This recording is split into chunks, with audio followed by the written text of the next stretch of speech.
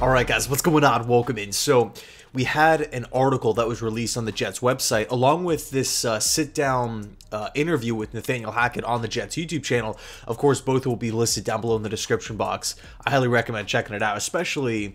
I mean, I mean, normally you always love listening to the OC, the head coach, the DC of your favorite football team, right? To always just, you know, try to get a feel for the team, especially going into a season. But, you know, right now we're in the first week of July. So, you know, things are pretty dry as far as news is concerned. So, you know, whenever you have an opportunity to you know, listen to this, the, like a half hour interview with the team's offensive coordinator, somebody who doesn't really meet with the media all that much, is uh, it, it's always cool. But I wanted to go over a couple uh, answers that he had as far as what to expect for 2024 and what he's kind of prepping for.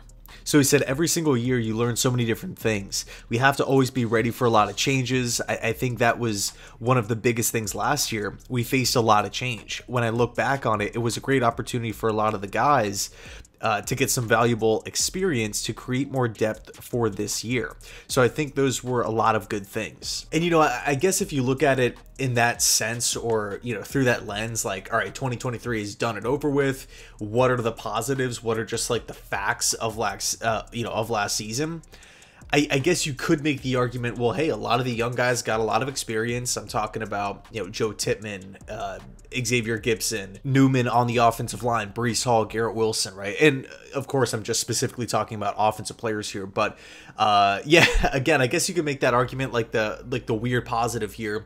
There is more experience coming whenever you play, like a you know you have a full season under your belt, so.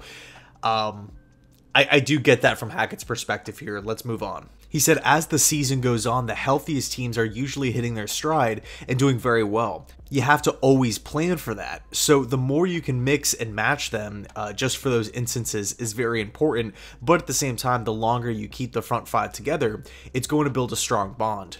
So I think Hackett here is 100% spot on, right?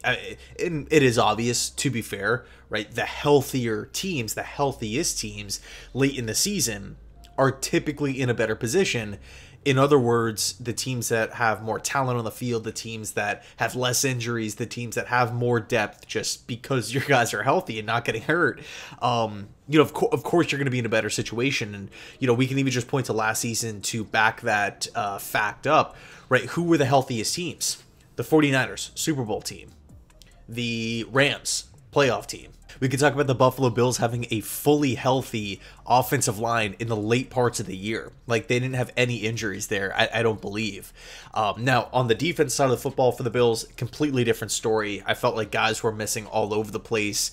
Uh, Tre White, Matt Milano, uh, the safety position was always like kind of in rotation. But the point remains the same. If you are healthy, uh, typically you're going to be in a better position than if you're all beat up with injuries uh, in the back half of the season.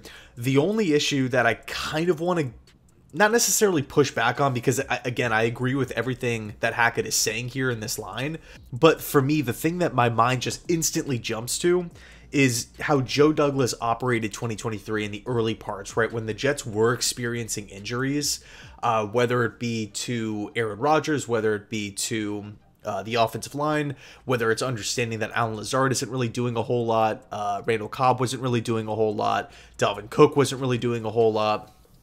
It just seemed like st- like everything was totally fine, and there wasn't really that fire, that intensity, that urgency to upgrade the team in any sort of way. Uh, and we're talking pre trade deadline here, so we don't have like you know it's not like we got all of our you know solid players got hurt in week 14 and we're just like well there's really nothing we can do. No I, I, literally remember everybody jets fans were talking from week one saying hey we you know we can use another offensive lineman. We can use a, a backup quarterback. Can we bring this guy in for a workout? Why isn't anything getting done here? And the line here from hackett where he says as the season goes on the healthiest teams are usually hitting their stride and doing very well. You always have to plan for that. That is something that the New York Jets simply did not do a year ago right? They they had injuries, and to me, at least, the way it seemed was Douglas threw his hands up and said, "That's the year, right? We're not going to go out and make a move at the trade deadline like a win now piece. We're not going to go add, you know, a, a, solid veteran who can step into the starting lineup within a couple a uh, couple weeks. We're not going to look at upgrading the quarterback position until it just felt like." It was necessary because there was just so much backlash from the media and whatnot because we were just seeing like loss after loss after loss and like I remember again in the early parts, we had like the loss against the Cowboys, the loss against the Patriots, the loss against the Chiefs. And I, I think that was right around the time that we brought in Trevor Siemian So it kind of felt like one once the uh once the Jets front office back was against the wall, like this unit is just they keep on losing games. Now we'll go out and make a move. So, you know, from Hackett here, when he says, you know, you always have to plan for that. Um, I, I doubt he was talking about last season you know, or anything like that. I don't think he was trying to make a little subtle point.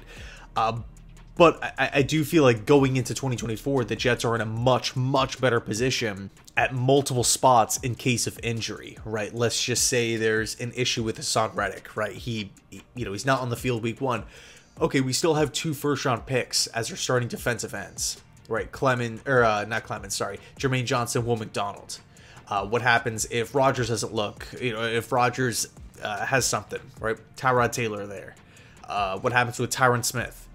We got Olu. So it's not like we're down to our last available player on the depth chart. It's like, no, we, we can now promote the the uh, winners of specific positional battles in camp. Um, you know, so I, I think we're in a good position. I, I really do believe that. Defensive line, I'm, I'm still a little, you know, stopping the run. I, I still have a, a, bunch of questions there. I, I, just feel like we have a lot of new faces. Uh, we lost a lot of players. We've added a lot of players. I mean, we lost Quinton Jefferson, uh, John Franklin Myers, uh, who else? Al Woods, Bryce Huff. We've replaced those guys with Leki Fotu, uh, Haason Reddick. Who else? Javon Kinlaw.